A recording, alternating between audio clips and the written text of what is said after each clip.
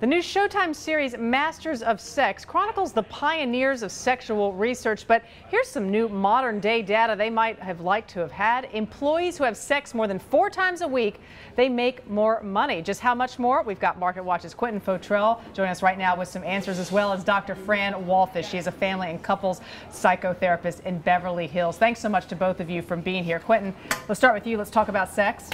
Just wanted that. Let's do it. Just wanted to do it. Uh, a lot of folks are glued to their iPads, their iPhones, or laptops right now, waiting for you to answer this question. You have more sex, you make more money. How much? Five percent. Five percent. Yes, five percent more. And if you have no sex, you might end up earning three percent less according to the study that was published. Do, do, you hear that cheer? You hear the cheering that's going on, right? I can hear it. Across, and I hear. I also I hear, hear a, a, soft weeping as well. yeah, you hear some weeping as well. Uh, Fran, let's bring you into this. Uh, you know, you spoke to Quentin for this story. What were some of the reasons uh, behind this data that you can extrapolate? Uh, you know, in terms of uh, what the, what the research would show, the why of this. I mean, is it just that everybody loves a winner?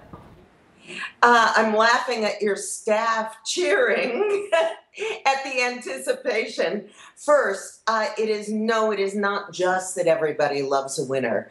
Uh, the physical aspect of endorphins rising with sexual excitation and activity is one factor. But also, if you think of the emotional factor, you know, young children aspire to identify where the power is.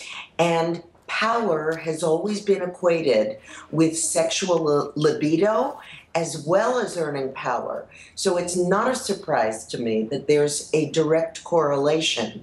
In my private practice, I see a lot of men, I'm in 90210, and even the privileged and stratospherically wealthy have been impacted by the, the low economy in the last couple of years. And I've treated a number of people who are complaining and moaning about their incomes going down. Those are generally men who are not feeling sexual or having as much sex, and they're women who are tired, exhausted, and feeling less interested in sex. That's really inter interesting. I want to come back to that point in just a second. And but Quentin, there are other studies that I think you and I've even talked about them that show that in general people who are more attractive that they generally earn more. That could maybe be playing to this too. Right, a, a University of Texas study, uh, three to four percent more if you're regarded as uh, handsome or attractive. Um, that also ties into this study about um, sexual activity because it may also be what you convey to the rest of the world and how others perceive you. If you appear happier, more self-confident, um, people want to be around that type of aura and people who are appear to be drawn to others who are somehow um, deemed more attractive and therefore more uh,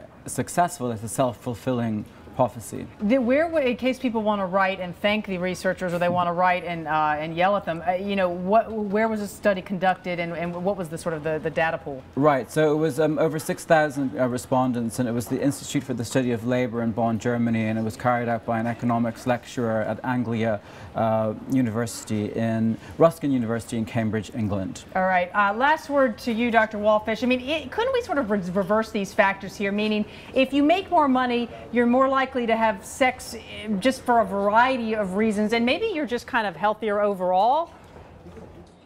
Absolutely. There is the aspect of healthier overall, but happiness, joy, and energy are direct magnetizing aspects to the opposite sex or to the same sex.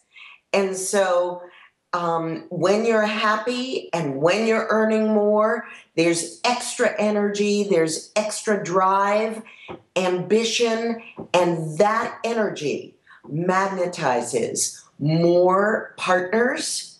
You know, it's partly perception, but it helps people come to you.